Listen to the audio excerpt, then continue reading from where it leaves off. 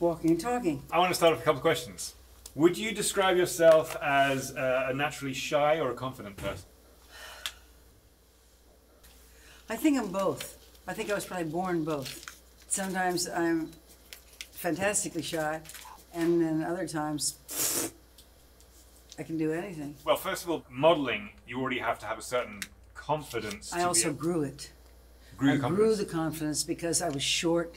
I had this gap between my teeth. I had a funny nose. One side of my face goes up, one side goes down. I, I had to get everything together, which I would practice in a mirror to just make the muscles work different ways. Interesting. Now I've forgotten all that stuff because I don't really do it much anymore. Did you used to look at magazines and try and sort of Oh, I studied. yeah I studied poses. I studied looks.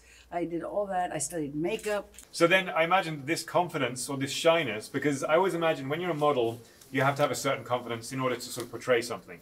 But when you're an actress, it's like even double or triple that. One's So, a sliver of the other. so for you, was there was there a sort of an easier, one, well, a more enjoyable one? Gee, I never thought about it like that. I like them both. That's I good. really like them both. Your life as a model gave you a lot, I imagine, in terms of travel, right? I had one idea from the time I remember thinking. My sister, she said I always told her when I washed the dishes and she dried that I was always talking about all the countries I was going to go to New York. I was going to become a big designer, giant designer, and I was going to take the money and I was going to go all over the world. I was going to go to Africa, and Indonesia, and there and there, jungles and forests and Where do you think this was born from? Where was this idea from? Was it from books or was it from family experience? Or? I think it was Tarzan, the serial Tarzan that was shot out here in Tarzana, and they looked like adults that were having fun. I mean, I didn't like Jane; she was always sweeping in the treehouse. I didn't want to have anything to do with that whatsoever. you wanted to be Tarzan. yes, I had to be Tarzan, and uh, it just looked like adults having fun. And I thought, then it's okay to be an adult. Right. What do you think traveling taught you? What do you think traveling gave you?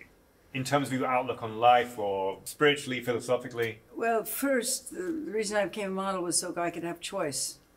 I realized that I would have to buy time, and that, that was going to take money. And I found out what they made, and I went for it. In the beginning, I told you it was mostly European Right. Girls. We had we made a dollar a minute. We worked six jobs a day if we weren't doing editorial, and then you'd be there all day, and you'd make what you'd make in one hour in the real insane. places. Can you just tell us about the change that happened with your pay when you asked for or demanded a contract? Because I think it's such a massive influence on what is going on today.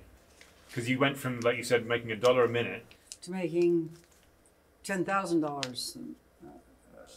Well, not a minute, Right. unfortunately. It was like, well, I realized I read about a football player named Catfish Hunter, and I thought, we're athletes. We're absolutely athletes. Good ones. The good ones are. right. And so that's when I said, okay, you want me? Sign on the line. Um, you have worked with so many of my heroes. Did you have a favorite in terms of photographers? Penn Avedon, Avedon Penn. Pen Avedon. and uh, and Meisel was awful good.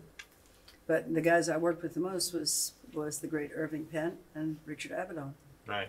And did they both teach you different things in terms of like complete different styles? Absolutely, they Yeah. taught me different things all the time. Penn reminded me about dead fish. The dead fish If the fingers. yeah, give them a finger or something, just hanging there. No, they, they. I mean, we all we all talked back. I was always coming back from someplace spectacular, with you know magic people, and they were telling me things. Dick would tell me all these stories with all these people that he had shot with that were fantastic. Right. And Penn was telling me things that happened to him in this place and that place. And Well, you know what's really weird about that is people talked those days. Nowadays, everybody's got Yeah. their phones, yeah, so we're all lost in our own bubble. If you if you were able to give your younger self any good advice, what would it hmm. be? well, I would tell myself to keep the money myself and figure out where to put it to make it grow Right. and not buy frivolous, dumb things. Okay.